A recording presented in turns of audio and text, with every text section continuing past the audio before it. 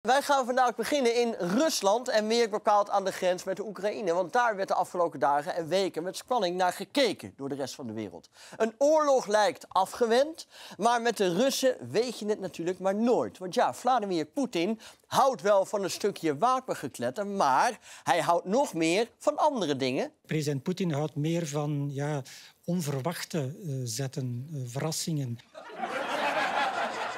Hij houdt van verrassingen. En daarom is dit ook zijn favoriete eten. Overigens, in een Russisch kindersurprise-ei zit vaak nog een kindersurprise-ei. Maar dat is dus Poetin. Hij is de man van de onverwachte zetten. En daarom is het ook logisch dat hij vandaag, waar de hele wereld zat te wachten op een Russische aanval, besloot om zijn tanks aan de grens terug te trekken. En zo werd een gewapend conflict afgewend met potentieel vele slachtoffers. Alhoewel deze verkeersregelaar binnenkort wel met een hoesje in het ziekenhuis zal liggen, denk ik hoor. Dat denk ik wel.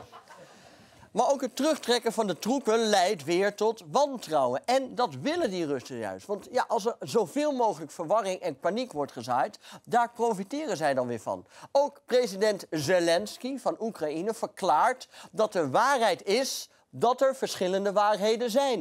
I have to speak with our people like uh, uh, you, you know, like, like a president and say people truth and the truth that we have different information. And now the best friend for enemies, that is panic in our country. I like. Ja, ze hebben daar dus te veel verschillende informatie en te veel dezelfde jassen. En het zou eigenlijk net andersom moeten zijn. Namelijk allemaal dezelfde informatie en wat meer variatie in jassen, jongens, kom op moet het allemaal bruin zijn. Er is een informatieoorlog gaande tussen Rusland en het Westen. En daarom was het ook zo slim van de NAVO om Sophie Wilmes mogelijk te benoemen als hoogste baas van de NAVO. Omdat als er één iemand is die bewezen heeft dat je verwarring kan stichten met informatie, is het Sophie Wilmes wel. Ken je die PowerPoint-presentatie nog? Dat was heel hoog niveau. Dat hebben die Russen ook gezien, absoluut. In Oekraïne zelf was overigens weinig sprake van paniek de afgelopen weken. De gemiddelde man in de straat merkt helemaal niet dat de dreiging steeds groter wordt. De gemiddelde man in de straat merkt ook niet dat zijn sigaretje steeds kleiner wordt. Причем независимо, это украинцы, этнические русские. Мы считаем Украину своей родиной. И за нее будем драться, драться до последней капли крови. Ja, neem een trekje. Neem gewoon een trekje. Je, je, je kan gewoon roken.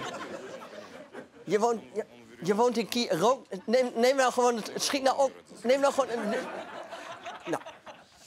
Overigens kunnen er in een informatieoorlog ook wel degelijk slachtoffers vallen. Laat ik het zo zeggen. Ze hadden deze pro-Russische separatisten in Oekraïne wel even mogen vertellen dat er überhaupt geen oorlog was, dat die er nu ook niet is en dat die in de toekomst waarschijnlijk ook niet zal komen.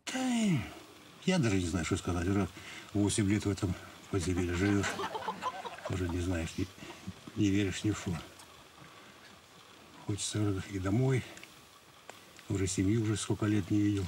Oh, zou je net zien. Komt hij volgende week uit zijn hol, krijgt hij corona. Heeft hij weer. Wat we vooral hebben gezien de afgelopen weken is wat de sterkte en de zwakte van diplomatie in het Westen is. En ook onze militaire mogelijkheden zijn op de proef gesteld. Kijk, Vladimir Poetin is natuurlijk begonnen met dreigende taal uit te slaan en het mobiliseren van troepen.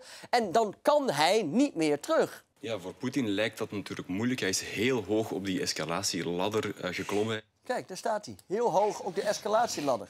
Maar als er iemand bovenaan de escalatieladder staat, dan staat er ook iemand helemaal beneden aan de escalatieladder. En dat is Michel Hofman, stafchef van het Belgische leger. De Russen komen eraan, meneer de stafchef. Zijn wij daar klaar voor? Wij kijken uh, vanuit, een, vanuit een, een, een, militair standpunt. Volgen wij natuurlijk bepaalde indicatoren die, die, ons, die ons helpen om te, zo goed als mogelijk in te schatten wat de volgende stap kan zijn. Laat deze man nooit de troepen toespreken. Geef uh, acht. presenteer. allee. schiet dinges. Wij willen ons veilig voelen, meneer de stafchef. En we willen graag dat jullie toch even het potentiële gevaar voor ons in de gaten houden. Gaat dat lukken? Wij kijken natuurlijk eerder naar, uh, uh, naar buiten. Uh, al hetgene wat ja, Rusland, China, Iran, Iran of zoiets. Dat, dat zijn zaken die wij volgen. Iranië. We houden Iranië in de gaten. Het is sinds Donald Trump geleden dat er nog eens iemand zelf landen verzonnen heeft. Maar aan de andere kant, dat is natuurlijk ook die verwarring hè, die gezaaid moet worden. Dit is natuurlijk hartstikke slim. Want terwijl er uit alle macht door de Russen troepen en materieel werd gestuurd naar de grens met Oekraïne, stuurde het Belgische leger een aantal F-16's naar Estland. Dat is helemaal aan de andere kant. En blijkbaar hebben ze naast die F-16's ook nog een premier meegestuurd. Uiteindelijk, de grens die Estland heeft met Rusland is ook onze grens. En die moeten we samen mee bewaken. Ah, de grens met Estland is ook onze grens. Ik zie dat dat niet klopt.